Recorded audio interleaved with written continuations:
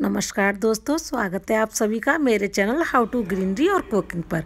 मेरे इस चैनल पर आपको कुकिंग की और ग्रीनरी दोनों की वीडियो देखने को मिलेंगी और आज हम रेसिपी बनाने जा रहे हैं मटर पनीर की। बहुत ही आसान और ना इसमें काजू मैंने डाले हैं और ना ही मैंने इसमें क्रीम का यूज़ किया है।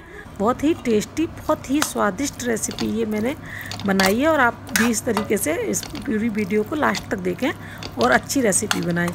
इसमें जो जो सामान मैंने डाला है, वो सारा मैंने वीडियो में आपको दिखाया हुआ है।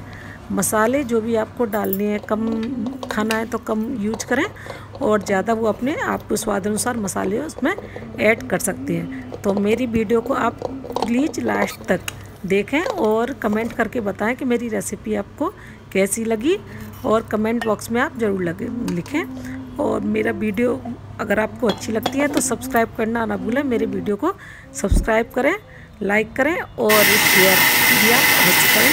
थैंक्स फॉर वॉचिंग तो मैंने अपनी वीडियो में आप पूरी दिखाई हुई है। आप इसको देखना लास्ट तक देखोगे, तभी पूरी वीडियो आपकी समझ में आएगी।